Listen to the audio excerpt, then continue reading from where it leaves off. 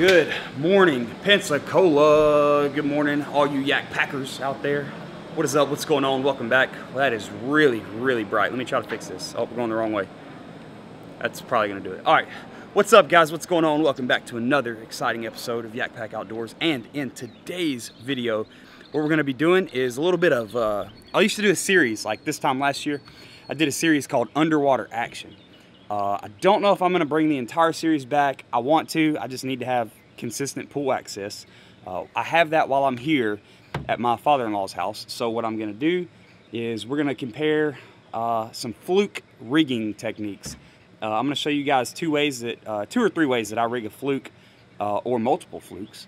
And I'm going to show you guys how I fish that. For those of you that, that don't really fish flukes much, I'm telling you, y'all are missing out. So definitely stay tuned.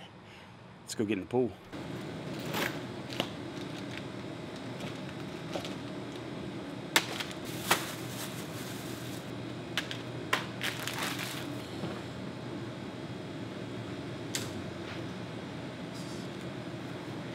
All right guys, so this is what we're working with. We're working with a size two Mustad EWG hook. I usually use size two or three, uh, just a regular Palomar knot, 10 pound fluorocarbon line, and a Deep Creek Lures Carolina Shad in the uh, just solid white color.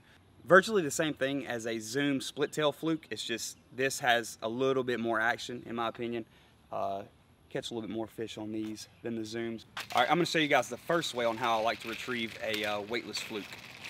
All right, we're just gonna pitch this bad boy to the other side of the pool, over the pool a little bit. All right, so you make your cast, you let it sink. It's weightless, so it's gonna take a little bit more time. Just be patient, and you may even get hit on that cast when it's falling, because it falls kind of slow and the tail kind of wiggles on the way down. So once it sinks, uh, all I'm gonna do is basically just raise my rod tip up really fast. I'm gonna twitch my rod tip. It's gonna give it that super, super ridiculously just erratic movement. Let it sink. It basically, what it's mimicking is a, a fish dying in the water. So just quick jerks and just let it. All right, show you guys one more time. Bring it back. Let's kind of get it closer to the camera. There we go. So let her sink down. And you don't even have to let it sink to the bottom. You could just, whatever kind of twitch you want to do.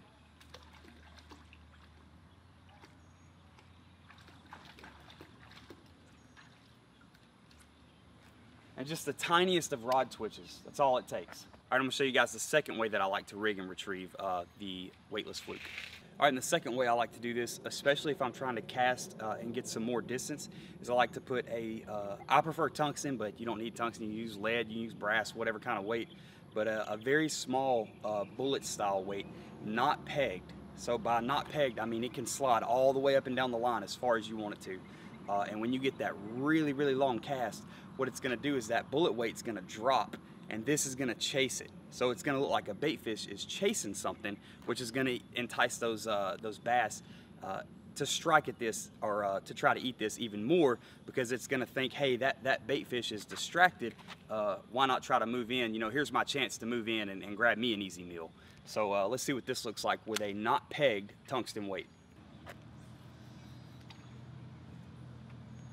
All right, the knot peg tungsten weight. So every time you twitch this thing, every time you pop this thing, it's gonna it's gonna separate the weight from the worm, or uh, in this case, the weight from the fluke. We'll call it the weight from the hook. It's gonna separate it and it's gonna do exactly like I said. It's gonna make uh, that tungsten weight, it's gonna dive down. It's gonna make that little uh, fluke chase it. Now you don't like a bait fish. It's gonna look super erratic. When it lands on the ground, they'll uh, reconnect. It just, man, woo. If I was a good old LMB, I'd eat this. All right, give you guys another cast. May have to do this one a couple times.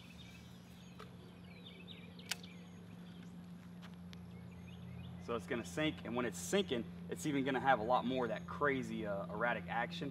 It's gonna look like it's kind of circling down, chasing, doing its thing, unsuspecting. Next thing you know, boom, big old LMB.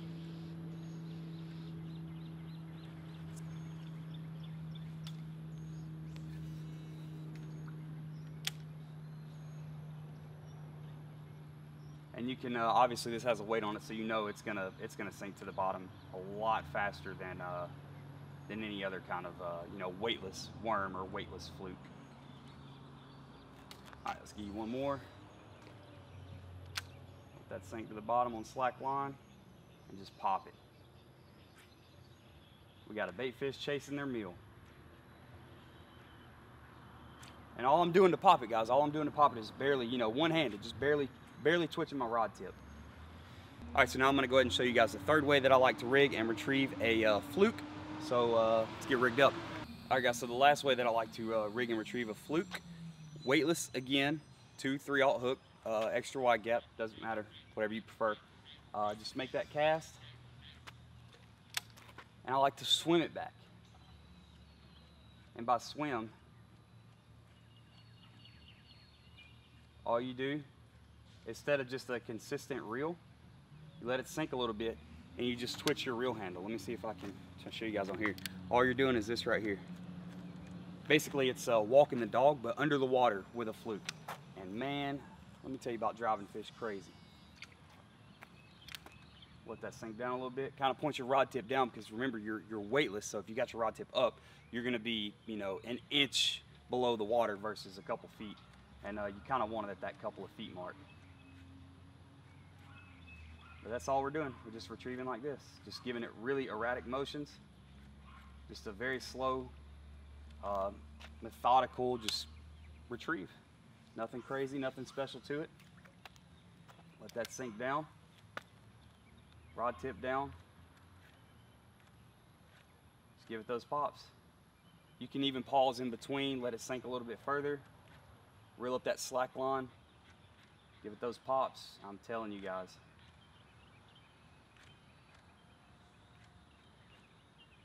Man, man.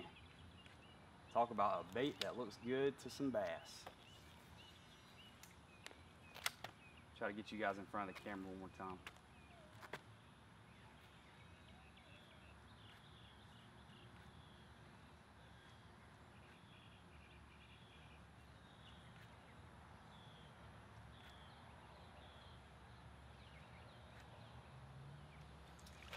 All right, there you go. That's gonna wrap it up. Uh, those are three ways, three of the main ways and uh, most often ways that I would like to rig uh, flukes like this. Uh, again, this is a Deep Creek Lures Carolina Shad in the uh, just a solid white color. I'll link them down below if you guys want to check them out. If not, uh, Zoom split tail fluke. It's almost same thing. this just got a little bit more action on it. I feel like you get more bites with something that has a little more action on it. But uh, I do appreciate you guys watching, so thank you very much. Uh, go ahead and subscribe to the channel if you're not already. Let YakPak Outdoors earn your subscription. Uh, if you enjoyed the video, go ahead and smash that thumbs up. Thanks again for watching, guys. Catch y'all next time.